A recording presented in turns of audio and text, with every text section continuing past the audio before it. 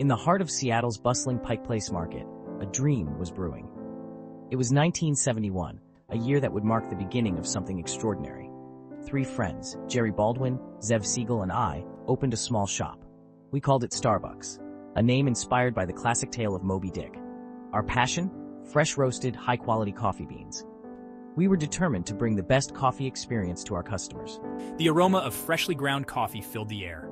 Customers were drawn in, captivated by the rich, inviting scent. They were eager to experience the rich flavors, savoring each sip as if it were a moment of pure bliss. Starbucks quickly gained a loyal following.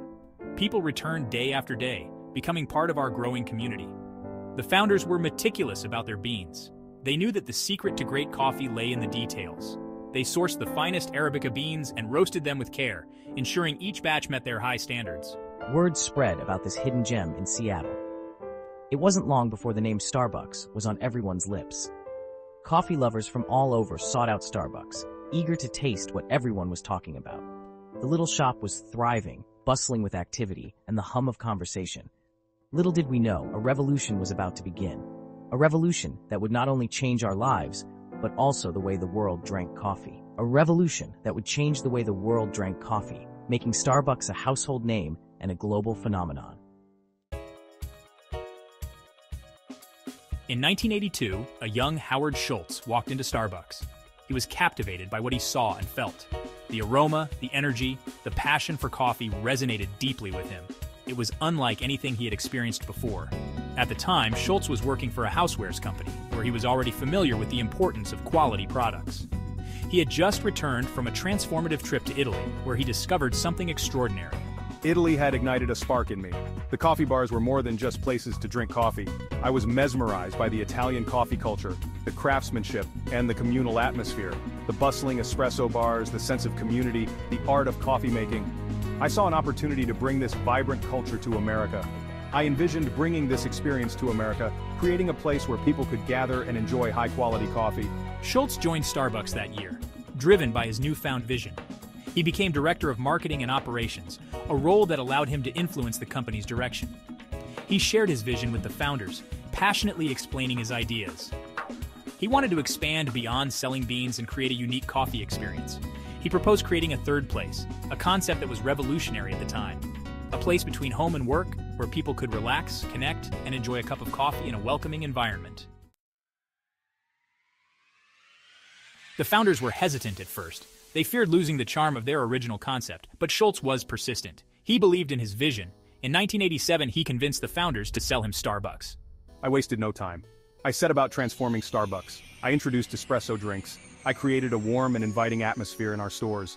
I focused on customer service. I wanted every customer to feel like they were part of the Starbucks family. The response was phenomenal. People embraced the Starbucks experience. The company grew rapidly. Schultz's vision was becoming a reality. Starbucks was no longer just a coffee shop, it was a cultural phenomenon. Facing the heat challenges and reinvention. Throughout the 1990s, Starbucks expanded aggressively, opening new stores at a rapid pace.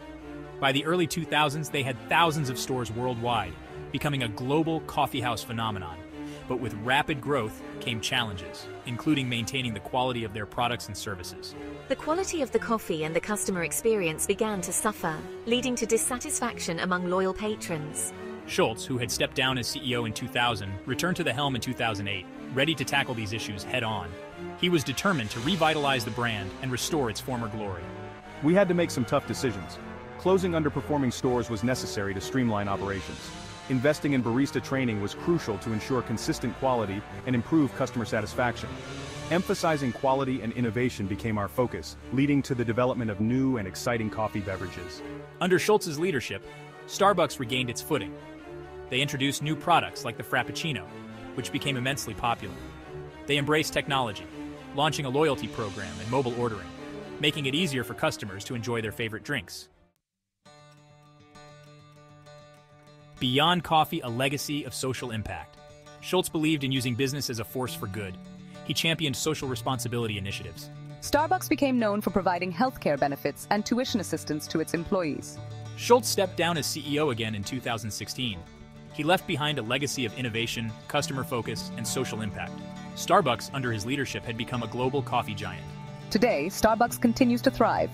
It remains committed to its core values of quality, connection, and social responsibility. The company's journey is a testament to the power of a vision, a vision that transformed a small coffee shop into a global icon.